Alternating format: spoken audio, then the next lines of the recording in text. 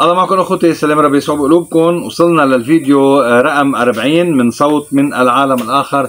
كمان كتير مهم هالسؤال اسمعوا شو بتسألها بتقول هل ممكن نحن نقدر نحصل على صلاة أو قوة أو فكرة أو ذكريات من صديق ميت ويبلغنا إياها؟ ويذكرنا إنه أنا كنت معكم على الأرض وبتتذكروا هاي وهي إنه يحكي لنا حدا ميت يقول لي يا أبونا بتتذكر لما كنا قاعدين محل فلاني؟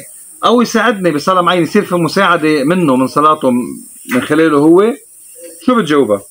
بتقلها من الممكن إبلاغ الذكريات من الأرض إلى هنا يعني أنا في أقول له لميت تتذكر يا خيي لما صار هيك ولما صار هيك ولما صار هيك. وهيدي ما لها كثير جدوى كبيرة إلا إذا سمح الله إنه هيدا الميت يسمعها. بنفس الوقت مثل ما قلت لك قبل نفوس المطهر بتعرف وكثير منيح. مين عم يهتم ويصلي لها من الأرض؟ كثير بتعرف. مين عم يصلي لها ويهتم فيها من الأرض. حسب ما كمان الله بيسمح. وبتقدر إنه تبعت النفوس اللي بالمطهر ركزوا بصلاة خاصة بإذن من الله إنه تصلي وتنبه إنسان على الأرض.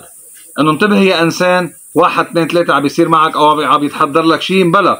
مشورة أو بيقدر يعطيه مشورة من المطهر بإذن آه، من الله.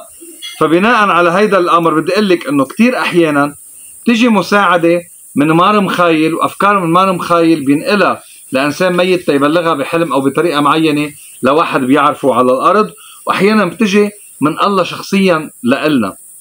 هيدا اللي أنا صار معي واللي عم يكلفني الله باللي قلته وأنا عم بنبسط إنه أنا عم بخدم الرب ومار مخايل كمان بيساعد بهيدا الأمر. قلت لكم كثير مهم مار مخايل بالمطهر. آه، إلا إنه كل هيدي الأمور تخضع للمشيئة الربانية. إن كان اللي عم يعمله مر مخايل أو عم نعمله نحن هيدا كله تابع لإذن الله ومن الله بيكون هيدا الأمر. بس طبعا بشفاعة مار مخايل أخوتي وشفاعة القديسين بتصير أمور رائعة كثير معنا.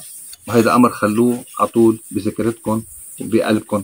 نصلي للرب للقديسين نطلب شفاعة مار مخايل الله معك.